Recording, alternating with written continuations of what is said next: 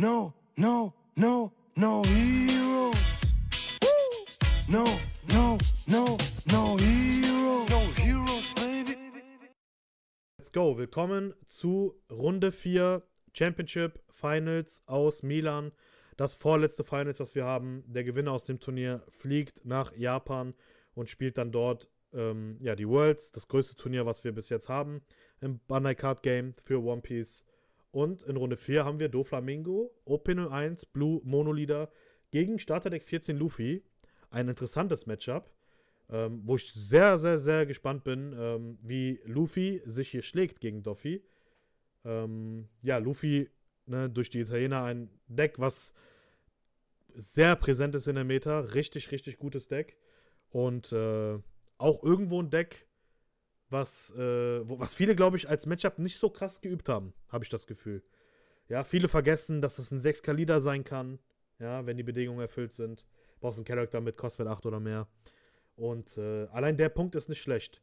Natürlich muss man dazu sagen, es ist kein Lucci-Deck, ähm, wo du jeden Turn eigentlich eine Karte KOs. Du hast viele Value-Turns, aber die sind dann so stark mit einem 6K-Leader, das ist schon nicht verkehrt. Und am Ende hast du immer noch die ganzen richtig starken Karten, die es gibt für schwarze Decks, wie Rebecca, Sabo, Moria, Jack. Ja, das macht das Deck, glaube ich, ziemlich gut. Und wir haben Doffy, der natürlich noch lange nicht da ist, wo der sein wird. Ab drei Wochen, zwei Wochen. Aber wir haben schon mal eine Vorbereitung dafür. Wir fangen an. Erster Turn, Top 5, Perona. Natürlich eine absolute Pflichtkarte hier für Doffy. Die wirst du nicht nicht sehen in Doffy. Das ist wirklich, die ist zu wichtig. Schaut sich die obersten fünf Karten an und du kannst dann die Reihenfolge der Karten ändern und kannst dann entscheiden, ob du sie nach oben oder nach unten packst. Hier lassen wir sie natürlich oben. Und dann haben wir auch schon den Pass.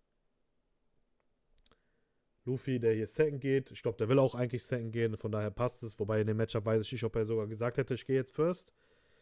Wir haben den 7K Swing. Natürlich weiß Google, was er jetzt rausspielen wird. Es ist ein Starterdeck Moria, der natürlich noch keinen Effekt hat, weil nichts im Trash liegt. Aber er hätte den Effekt, dass er einen On-Play, also er macht On-Play, ähm, ja, dass er einen ähm, 4 Kost oder weniger Seven Warlord vom Trash auf die Hand hinzufügt. Also eine ziemlich sehr, äh, doch, eine ziemlich wichtige und gute Karte für das Deck, sagen wir mal so. So, wir haben für vier Dons jetzt eine Pudding. Der hat schon davor sich vorbereitet. Seine Hand war schon geschaffelt. Erster Angriff ging durch. Plus bei zwei und vier Dons nichts gespielt. Ja, plus zweimal Draw for Turn. Heißt ordentlich viele Handkarten, die er jetzt reinmischen muss. Ja, und dann darf er nur fünf nachziehen. Das ist die Macht von Pudding. Eine richtig, richtig wichtige und starke Karte für Blau. Und mal gucken, was er jetzt nachzieht. Fünf darf er nachziehen. Wir haben Tashigi, Sh äh, Shirashi, Jack, Sabo und ich meine noch ein Jack. Also, ja, gar nicht so verkehrt. Ist okay. Und dann einen 5k Swing, den countert er raus mit Shirashi. Und für 1 kommt dann noch eine Perona. Okay, starker Turn. Hat jetzt hier seine obersten 5. Hat Jimbe, hat Weevil, Red Rock, was auch wichtig sein kann, vor allem wenn der Jack von deinem Gegner liegt lässt es auch so und passt dann sein Turn. Luffy jetzt bei 6 Dons, noch kein Charakter auf dem Board. Langsam müsste die erste Karte kommen. Ja, wir haben einen 6k Swing. Into Leader. Bin mir ziemlich sicher, dass er den einfach nimmt. Genau, weil er ist noch bei 5 Leben. Und einen Sabo. Draw 2, Trash 2. Hat Brooke Rebecca nachgezogen. Auch eigentlich ziemlich gut. Hat zwei Jacks auf der Hand. Ich sag, einen kannst du sogar abwerfen. Außer, ja gut, du hast keine weiteren Moria, ne? Plus, aber du recycelst viel. Also doch, es passt. Ich würde es auch genauso machen. Brooke und Jack ist die richtige Wahl. Und dann auch schon der Pass. Relativ zügig hier, der Turn. Jetzt Doffy wieder dran mit sieben Dons. Weiß ja ganz genau, was, was er ziehen wird. Deswegen sehen wir jetzt hier erstmal einen 7K Swing von Pudding, der geht sogar durch. Und dann haben wir den 8K Swing, Leader-Effekt, Top Deck Jimbe, den kannte er natürlich durch die Pirona. Der Jimbe spielt jetzt aus einen Weevil und dann zieht er noch eine Karte. Also richtig, richtig starkes Tempo auch hier von Doflamingo. Ähm, ja, guter Start. Definitiv guter Start.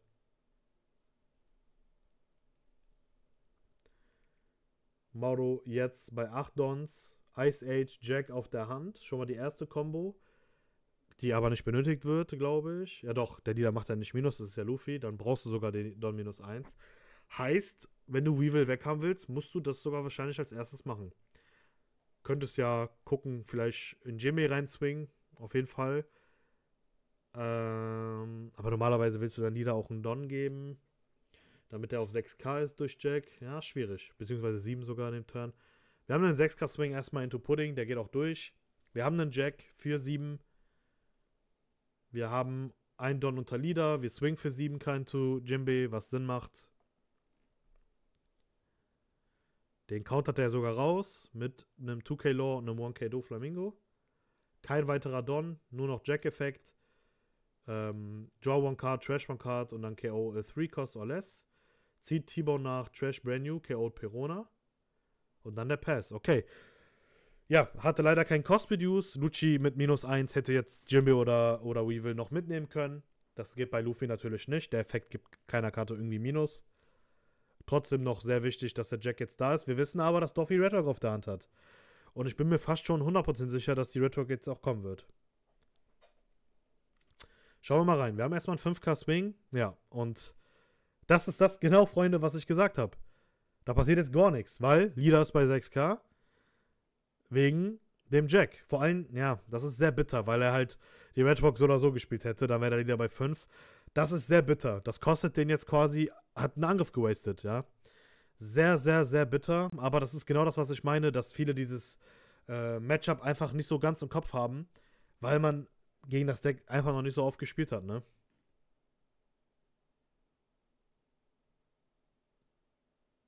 So, wir haben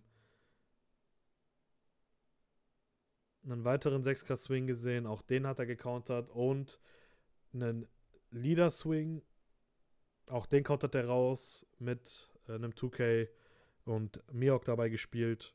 Gutes Board hier für Doffy. Luffy jetzt bei 10. Jetzt ist die Frage, hat er noch einen äh, 7 Cost Jack oder sogar einen 8er Moria nachgezogen? Oder nicht? Schauen wir mal rein. Zwei Dons erstmal unter Leader. Ne, macht sogar. Ah, ist sich nicht sicher.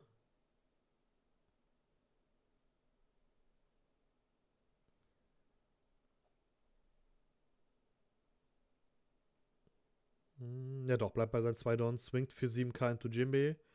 Der ist jetzt weg. Hat noch 8 Dons, aber das sieht nicht nach einer Moria aus. Das sieht nach einem 9k Swing aus into Mihawk. Und dann kommt sehr wahrscheinlich ein Sanji. Ne, Ice Age into Shirosh, äh, into Rebecca, into Brooke. Okay, starker Turn. Starker Turn. Die beste Antwort, die du haben kannst. Ganzes Board damit removed, ja, außer Perona, aber jeder, jeder, jeder Buddy, Mihawk, äh, Weevil und Jimbe damit weg.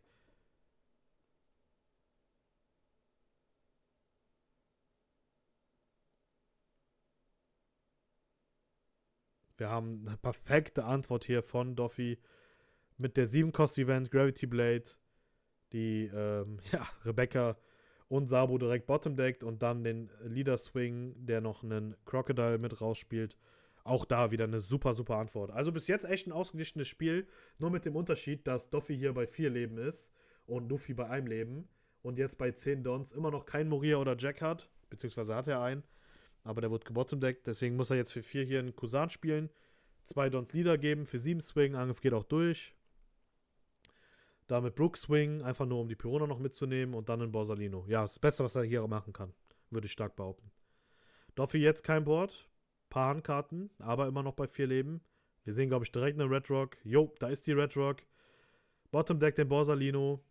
Wir sehen jetzt einen 10k Swing into Leader, der hat die Perfume auf der Hand und der Pass und er weiß ganz genau, das Ding ist durch, das wird er gewinnen. Bin mir fast schon zu 100% sicher, dass er eine Perfume auf der Hand hat. Ähm, falls die Leute nicht wissen, was Perfume ist, das ist die Diable Jumbe für Blau, ähm, die noch 2k plus gibt, weil, ja, der swingt so aggressiv rein, der weiß ganz genau, äh, dass er das wahrscheinlich hier holt. Swingt für 5 mit Kusan, geht sogar durch. swingt für 7 mit Brook.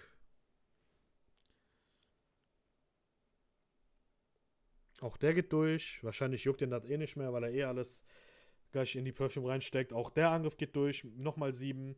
Spielt einen Sabo, Draw 2, Trash 2. Jetzt müssen wir mal rechnen mit seiner Hand, ob das überhaupt ausreicht. Wir wissen, er hat Counter auf der Hand, aber niemals 15k Counter. Ne, die hat er nicht. Die hat er nicht. Und guck mal, der wird das jetzt so schnell spielen, weil er ganz genau weiß, mich juckt das doch eh nicht. Gib mir meine zwei Dons, gib mir meine Perfume. Guck hier, bam. Perfume, bam. Unblockable und 15k Swing und GG. Well played. Well played von Doffy hier. Deswegen hat er auch die Angriffe genommen, weil er ganz genau wusste, yo, das ist eh gar nicht mehr wichtig. Meine Angriffe reichen aus. Am Ende 15k Swing wird ausreichen. Äh, ja, well played hier.